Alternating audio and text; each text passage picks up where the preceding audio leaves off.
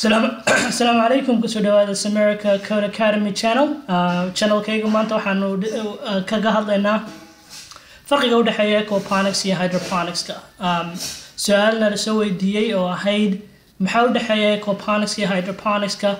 Ayaa uuna weydiiyey mid ka mid a dadka waxa weeyaan channelkayga view garaya sababta su'aasha uu keenayna waxay ahayd uu ku sababeeyey in magaalooyinka burciyo berbera uu maqlay in iyo inuu maqlay in laga bilaabay systemyo iyo beero noocan ku salaysan.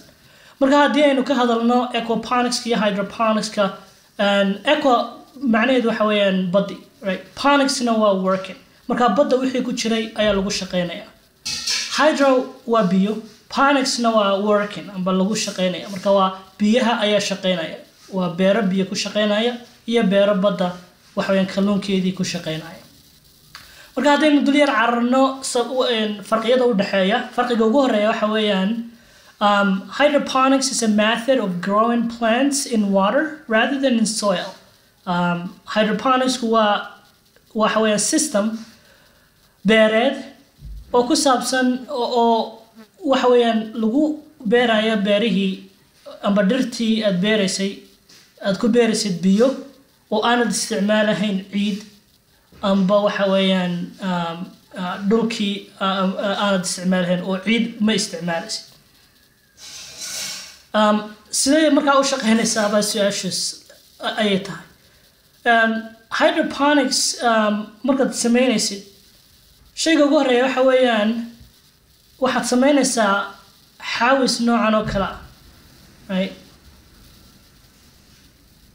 xaawis noocan oo kale ayaad sameynaysaa oo ka biyaha lagu qaada.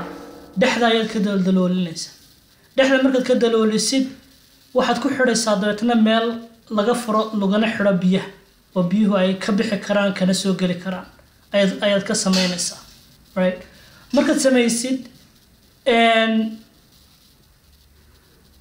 biyaha waxaad u raacinaysaa dabeetna foosta yar muxuu geedku deetna marka tusaale ahaan xabub oo kale ayaad meel banaana baad ku beeraysaa markay soo baxdo ayaad soo goynaysaa xaawiskaad ku dhex ridaysaa. Xaawiska waxaa dhex maraya biyihii ayaa toos u dhex maraya oo biyihii ayaa dhexda u maraya geedkina de biyihii muxuu ahaa jiridiisi toos bay u qaadanaysaa biyihii ayay u qaadanaysaa marka adigu waxaad soo iibsanaysaa laba dhowr shay. Kow xaawiskiibaa lagaga baahan yahay. Halkii laga xidhayo laga furayay sida qasabadoo kalena waad ku samaysanaysaa. Waxaad soo iibsanaysaa oo kale solution amba waxa weeyaan hydroponic solution waxa la yidhaahdo oo nafaqadii oo la soo sameeyaya oo ku jirta maxay ahayday ku jirta wakaa yidhi liquid plant food. Waa waxa weeyaan nafaqadii dhirta oo biyo ah ayaad soo iibsanaysaa. Taasaa deetna ku daraysaa geedkii saasuu deetna ku baxaya marka hydroponics saas ayuu samaysan yahay waa xaawis biyo nafaqo leh geedkiiad ku dhex beertay. Ecoponics oo kalluunka ku salaysanna asaga waxa weeyaan kow kalluunkii baad soo qabanaysaa berberokaa soo qabanaysaa foostaad ku dhex ridaysaa foostadaas deetna xagga hoosead ka daloolinaysaa xaawis baad ku xidhaysaa xaawiskaasa deetna kalluunkii kaadadiisii iyo wasakdiisii ayay qaadaysaa. Markay qaado deetna waxaad sameynaysaa bacteria yar ayaad ayaad ku ridaysaa. Bacteriadaas ayaa waayo ammonia waxa la yidhaahdo ayuu sii daayaa kaadidiisu waa ammonia oo kale. Weeyaan ammoniadaas dabeetna waxaad u baahan tahay wax jejebiya oo yaryareeya oo nafaqo uga dhiga geedkii. Dabeetna bacteria ayaad ku dhex beeraysaa meel ka mida filter yar oo meela ayaad ku beeraysaa muxuu ahaa bacteriada. Bacteriada markaad ku beertid dabeetna bacteriada biyihii way ka yaacayaan. Markay ka yaacaan ay ka baxaan meeshaas geedkii bay toos u tegayaan geedkiina deetna nafaqadii buu cunayaa isaguna dhirtii wixii ka go'ay iyo waxaas ayuu toos waxa weeyaan haddana geedkii uu ugu kalluunkii ugu celinaya foosadii marka waa system xidhan waa closed system weeyaan system xidhan oo ka bilaabmaya foosta uu kalluun ku jiro bacteria kalluunka kaadidiisii wixiisii u bedelaysa nafaqo nafaqadaasoo geedkii u tegaysa geedkiiyo deetna haddana biyihii dib ugu celinaya foostadii si aana biyihii u madhan Right. Een, markaa farqiga koobaad waxa weeyaan horta ciid uma baahnid laakiin waxaad u baahan tahay solutionka hydroponicska caagad noocaas oo kale abaad soo iibsanaysaa. Deetna waad ku dhex shubaysaa marka nafaqo kale iyo ciid iyo waxa uma baahna geedkii Aquaponics and wuxuu yihi, aquaponics is the marriage of agriculture raising fish and hydroponics the soil-less green, uh, growing of plants that grows fish and plants together in one integrated system. macnaheeduna uu yahay aquaponicsku waa laba shay oo la isku daray kalluunkiiyo biyihii ku dhex nool biyihii oo qaadaya saxaradiisii iyo wasakdiisii wasakdaasoo loo bedelayo nafaqo iyadoo la isticmaalaya bacteria. Marka sideed labada system u samayn kartaa wuxuu ku yihi in the hydroponics you just add commercially formulated nutrients to your nutrient reservoir and you're off to the races. Macnaheeduna uu yahay hydroponicska caagadan unbaad soo iibsanaysaa oo kale oo nafaqadii oo dhammi ku dhan tahay xawiskii unbaad u raacinaysaa biyo ku dhex jireen unbaad geedkii u dhex raacinaysaa. Wayna kii nidhina xawiska markaad samaysid jiridii saasay biyihii ugu dhex eh, dhacaysaa.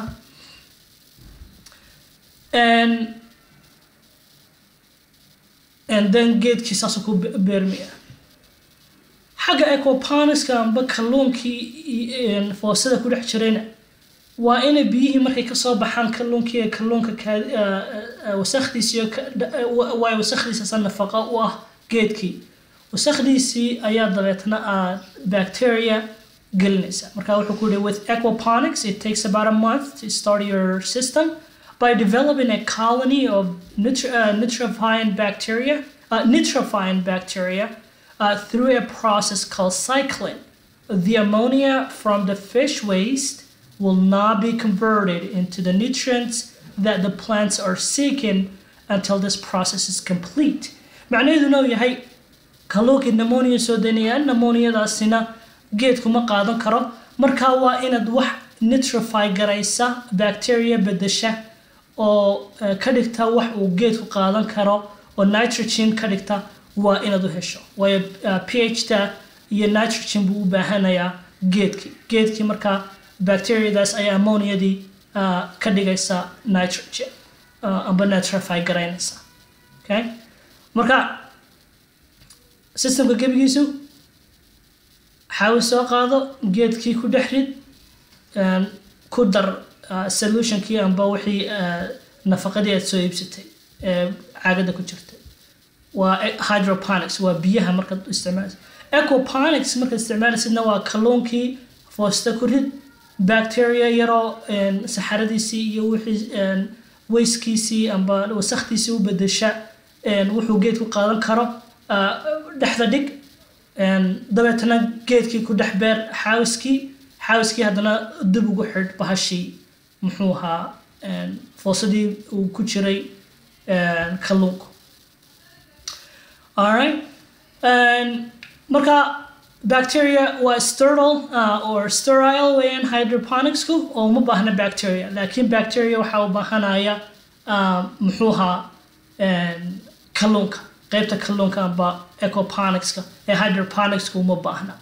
Qaybta biyuhu uma baahna laakiin qaybta kalluunka ayaa u baahan. Waayona kan waa laguu soo sameeyey oo warshadaa soo sameeyey oo ka soo shaqeeyey. Kan dee adigaa samaysanayo badii unbad ka soo qabsanaysaa kalluunkii. Kalluunka markaa waa inaad u bedeshid wixiisi waa inaad bacteria heshid yaroo u xagga bedelitaanka biyaha bedelitaankiisa amba biyaha markaad ka sii daynaysid amba aad biyo ku soo daynaysid sidee biyaha aad ugu shubaysaa amba aad uga shubaysaa systemka? Waayo wayna ka nidhi systemku waa close system waa system xidhan oon la doonahayn inay biyuhu meel qabtaan. Mararka qaarkood baad laakiin doonaysaa inaad biyaha ka shubtid wuxuu ku yidhi hydroponics grow, uh, uh, growers using flood and drain techniques generally only fertigate their plants once every four to six hours. Uh, academic studies and vast collective experience have shown uh, that this optimizes the water and fertilizer uh, and the fertil- uh, and fertilizer that plants need. Uh, معناheedu inuu yahay een, afar ilaa li- afar sa- afar saacadood oo kasta amba lix saacadood oo kasta waa inaad biyo cusub iyo nafaqo cusub aad ugu shubtid geedka ah, dhirta ood biyihii hore ka daadisid. Waayo taa geedkii markiiba wuu baxaya. Waanad ogtahay markaad nafaqadii ku shubtid waa inakin idhi geedka guntiisi waxay ku jirtaa dee xaawiska. Oo markaad biyaha ka shubtid biyihii xumaaya markaad ka wada shubtid ee haddana biyo cusub aad ku shubtid biyihii cusbaa deetana aad u raaficisid nafaqadii nafaqadii toos buu geedku halkaa uga qaadanaya right? Um, xagga aquaponics wuxuu yidhi when you move to an aquaponics system however the idea uh, the ideal schedule change to flooding for 15 mi- uh, for 15 minutes every 45 minutes the reason is that uh, the grow beds now has taken on an additional role of being the filter of the fish waste. If you only ran a fish water through the filter every four to six hours uh, fish waste will be will built up in a dangerous levels. Um, haddaad isticmaalaysid kalluunka waa inaad af shan iyo toban daqiiqo shan iyo toban daqiiqo waa inaad afar iyo afartan iyo shan miriro kastaba waa inaad shan iyo toban daqiiqo aad ka bedeshid biyaha. Sababtuna waxay tahay waayo wayna kennedy waa close system right?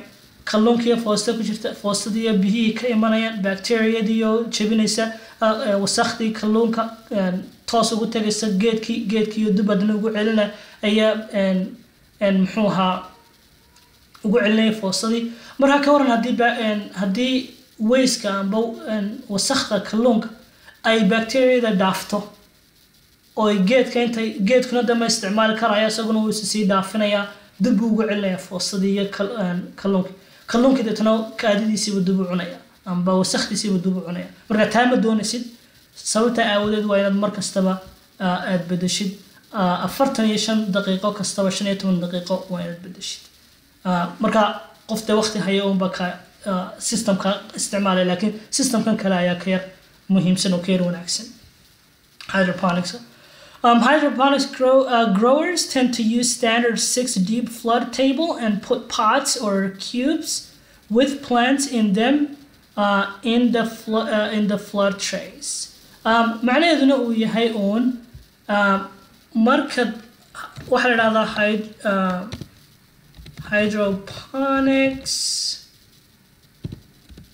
uh, hydroponic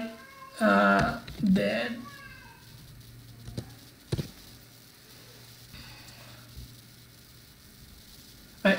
um, marka waxa weeyaan wax yar oo sidan oo kale uh, geed waaba de waxaad ka samaysan kartaa waxaad ka samaysan kartaa looxaan iyo bac xagga hoose. Ah bacdad xagga hoose dhigaysaa looxaan baad ku sameynaysaa La- looxaanta haddaba wax yar baa ka sarreeya ood geedkii ku hoos ku dul beeraysa oo adiga arka right? jiridii waa tan geedkiina waa kan.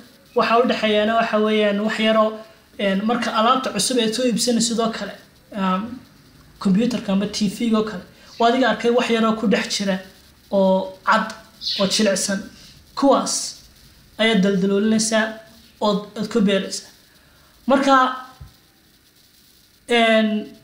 waa inuu lix inch uu noqdo wax dheer lix inch oo kale waa inuu isla u dheeraado ge- geedka waayo ma wala doonaysid jiradiyo dhan inay um, inuu geedkii wala galo ma doonaysid meeshi?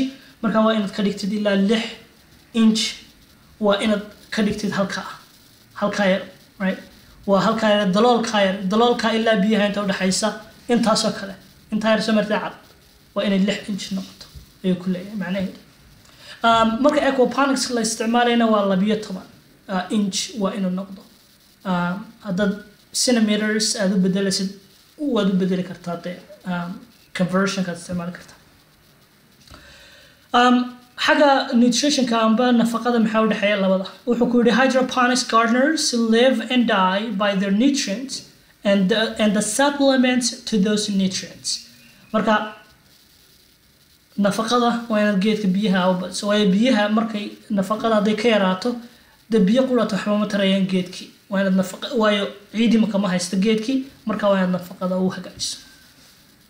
Xagga muxuu ahaa kalluunka ku salaysanna wuxuu ku yidhi the goal of uh, aquaponic garden, uh, ga- garden is to achieve a state of balance within its ecosystem. Uh, everything that goes into the system must work toward this end goal and not harm any other elements of the system. Uh, macnaheeduna uu yahay si aad u heshid isku dheelitirnaan ay isku dheelitirnaan yihiin systemku waayo waa system wala xidhane. Waa inaad si wanaagsan uga shaqayso ood isku dheelitirto bacteriyada inta wasakhu kalluunku soo deynayo bacteriyada jajabinaysa inta uu hela inta nafaqo uu ka helayo geedku inta dib ugu noqonaysa muxuu ahaa kalluunka. Iyo waxa kalluunka dib ugu noqonaya waa inaad filtero aad samaysid ood waxa weeyaan ka shaqaysid arrintaa laftigeeda. Waayo kalluunkii ma doonaysid ina saxaradiisii dib ay ugu noqoto right? Geedkiina ma doonaysid ina saxaradii amba wasakhdii kalluunku toos ugu dhacdo. Waayo geedkii ma jajabin karaayo oo ma ma fahansana waxan waxay yihiin.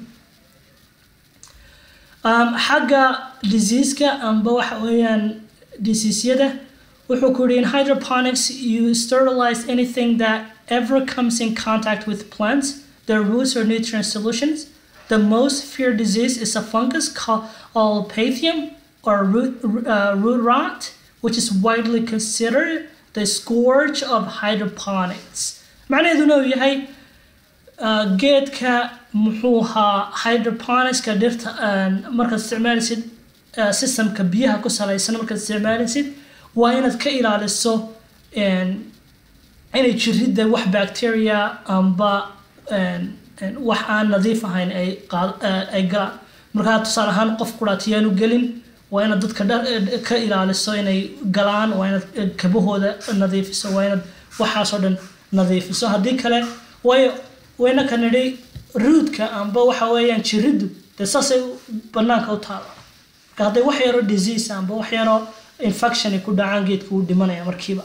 Marka waa inaad ilaaliso oo dadka nadiifa mooyaan dad kale aanay gelin.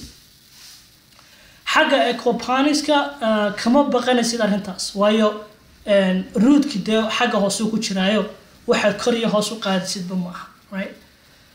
Um, midda labaad kalluunka ayaa ka dawa alright um, xagga temperatureka amba xagga cimilada maxay ka yidhaahdeen xagga cimilada wuxuu ku an important part of an effective program to prevent pathium um, or pathium outbreaks in hydroponics is to make sure that the nutrient solutions does not get above 70 degrees Fahrenheit.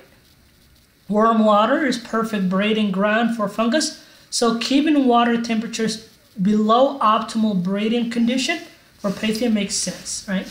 Um, marka waa ina toddobaatan degree Fahrenheit wax ka yar uu mar walba noqdo hydroponics amba kuwa biyaha ku salaysan. Sababtuna waxay tahay funguska gala muxuu aha jirida gala wuxuu ka helaa kuleelku ka helaa. Marka waa inaanay kullaan waa inay 70 degree Fahrenheit waa inay noqdaan xagga aquaponics in aquaponics. However the primary driver of temperatures or requirements of the fish the mostly widely used fish in North America aquaponics after goldfish is at uh, tilapia. And tilapia does not does best in waters that are between 82 degrees 86 and 86 degrees. The bacterium that drives the system also um, also uh, is also hap, um, happiest in that temperature range. macnaheeduna uu yahay xagga cimilada waa ina waa inay noqdaan siddeetan iyo laba ilaa siddeetan iyo lixdan degree uh, Fahrenheit. Uh, dhexdooda waa inuu noqdo xagga aquaponicska sababta ugu weyna doonaysa inay saa noqotaana waxa weeyaan kalluunka waayo kalluunku inuu kaa dhinta ma doonaysa kalluunka maraykanka lagu isticmaalo waxa u badan goldfishka. Uh, haddaan ku tuso goldfishku siduu eeg yahay. Um, goldfish. Waa ka cascas ee quruxda badan leh. uh, waa kaas. Kaasaa lagu isticmaalaa xagga maraykanka. Waxaa kaloo lagu isticmaalaa mid ka uh, talipia la yidhaahdo oo sano isaguna eeg. Isaguna saas uu eeg yahay right? labadaasina waxay u baahan yihiin inay siddeetan iyo laba ilaa siddeetan iyo lixdan degree fahrenheit ay u dhexeeyaan ay jecel yihiin. Marka ayaga kalluunka ayaa ugu muhiimsan xagga cimilada inaad u ilaalisid. Kan cimiladiisa waxaad ilaalinaysaa un jirida kan cimiladiisa waxaad ilaalinaysaa un kalluunka. Xagga ph ph-ka amba waxaa nafaqada uu baahan yahay kalluunku uu baahan yahay geedku. Waxa weeyaan optimal pH in hydroponic system is 5.5 uh, iyo 6.0 marka pH-ka oo acidity-ga amba sida um, acidka u noqonayso amba lack of acidity waa inaad ku ilaalisid konton iyo shan shan iyo shan ilaa lix iyo shan. Haddaad doonaysidna waxaad soo iibsan kartaa waxaa la idhahdaa pH tester um, tester kit. Siddeetan dollar bay u eeg tahay qaar baa aada u jaban kaasoo kale jaban. Markaa kaasoo kale waa color color buu ku samaysan haddaad doonaysid mid mashiinana dee waa kan. Haddaad mashiin ahaan u doonaysid boqol iyo toddobaatan iyo afarta dollara. Haddii aad doonaysid ka muxuu ahaa waraaqda ah waraaq yarood si u dhex gelinaysid biyahana waraaqdaas ayaad isticmaali kartaa. Alright markaa waxaad iibsanaysaa un tuumbo yar baad qaadanaysaa amba koob yar baad qaadanaysaa koobkaa yar baad deetna dhex gelinaysaa. Kan halkuu taagan yahay ph ph b du uu kuu sheegaya hadduu sidaa noqdo waa six lix marka adigu waxaad doonaysaa lix iyo lix iyo shan iyo shan shan five point five inta u dhexaysa waa ina php du noqoto. Xagga aquaponics amba dhinaca kalluunka Uh, in aquaponics, PHP is another factor that's, uh, that compromised between the plant, fish, uh, plants, fish, and the bacteria. Optimal PHP is 6.8 to 7.0, um, which is also again more closely related to what an organic soil gardener will target. Um, marka php ph today waa waxa madowga ka dhiga ahaa muxuu ahaa beeraha ciiddeeda waa waxa madowga ka dhiga. Marka waa inay u dhaxayso xagga kalluunka kalluunku wuxuu u baahan yahay php qayba kalluun geedku php qayba buu u baahan yahay bacteriadu iyaduna php bay u baahan tahay. Marka waa inaad ku ilaaliso weliga ayaa lahaa lix point eight to seven. Sevenna waa tii ugu sarreysay. Dee haddaad baratay chemistryga aciditygii baa bilaabmaysa haddii aad halkaa gaadhid. Marka point zero inta udhexaysa six point eight and seven point zero waa inaad ku ilaaliso. Marka labaad amba waxaad isticmaali kartaa muxuu ahaa kuwan qaaliga ah ee p h p ga amba waxaad isticmaali kartaa dhirtaas too high optimal too low. Marka in yarun baad daraysaa biyaha unbaad bahalkan yar baad daraysaa dhakhtaradu ay isticmaalaan kan baad ku dhex ridaysaa markaa halkay taagan tahay sheegaya farqiga ugu dambeeya aynu eegi doonaa waxa weeyaan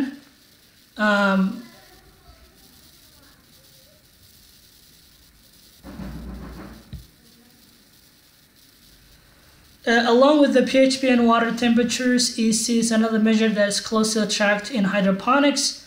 Um, electrical conductivity is a measurement of the sets of in nutrients reservoir, which tells the hydroponics gardener um, how concentrated the nutrients or solution is. Uh, this works because the hydroponic solution are generally delivered in mineral salt form.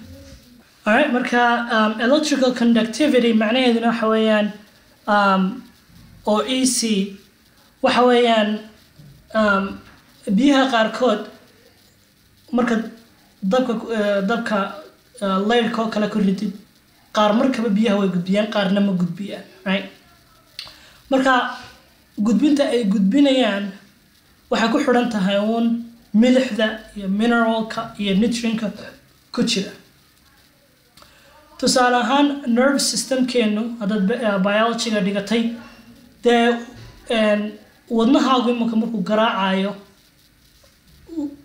waxaa jira nutrients amba waxa weeyaan electrolytes ayaa jira oo kolba siday yihiin uu garaacayo hadday ku bataanna uu buum odhanayo haddii ay yaraadaanna uu daciifayo sidaas oo kale php mineralka iyo nutrientka mana doonaysid inaad ka dhigtid concentrated oo ma doonaysid inaad ku badisid mana doonaysid inaad ku yaraysid. Waa in uu geedku u baahan yahay waa inaad u samayso ecoponiska wuxuu ku yidhi ecoponics plants are fed by organic waste from the fish which is very little salt.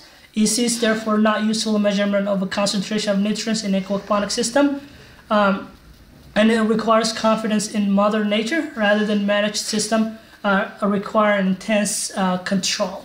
Macnaheeduna ecoponicska kama warwaraysid waayo kalluunka de waa wax ilaahay sameeyey oo ilaahay ugu talagalay inuu asaga xukumo jirhkiisa marka asaga kama baqanaysid laakiin kan kale adigu ku daray sidaad soo iibsanaysid waa inaad ka fikirto ood mar walba aad mashargarayso sida loo mashargaraynayana waxaad odhan kartaa ec tester. Markaa kaas oo kale ayaad soo iibsanaysaa. Qaar jabanna way jiraan right okay waxa ugu dambeeya waxa weeyaan hydroponics is a system of growing plants under highly optimized conditions. Macnaheeduna uu yahay hydroponicska waa waxaad adigu xukumaysa. Imse shay baan u baahanay baynu nidhi hydroponicska xaawis. Xaawiskaasoo dhexda ka jeexdid. Biyihii ood ku dartid waxa weeyaan solutionka aad soo iibsatay oo ku jira muxuu ahaa muxuu ahaa caagad noocan oo kalea waxaad eegaysaa p h p da waxaad soo iibsanaysaa bahal yarood ku qiyaasid p h p du halkay marayso bahal yarood ku qiyaasid e c du halkay marayso amba electrolyte conductivity-gu halkay marayso. Iyo wax yarood ku eegtid waxa weeyaan temperatureka amba cimiladu halkay marinaysa biyo kuleel iyo qabooyinta yihiin sida kale wax kalaad u baahantay ma jirto. Kan kow waxaad u baahan tahay kalluunkii laba waxaad u baahan tahay bacteriadii jijibinaysay saddex waxaad u baahan tahay temperatureku inuu noqdo eighty two degree eighty six degrees labada kalluunaad u baahanaysaa waxa weeyaan goldfishka amba tilapia ayaa laga isticmaala xagga stateska. Temperatureka waa inaad ilaalisid. Saddex afar waa inaad ilaalisid p h p da electrolyteskana waxaad ka fikiraysid maaha inaad ka warwar. Haddaad su'aalo kale haysidna soo weydii haddii kalena google gale uun ecoponics and hydroponics si aad u baratid intaa in ka badan. Asalaamu calaykum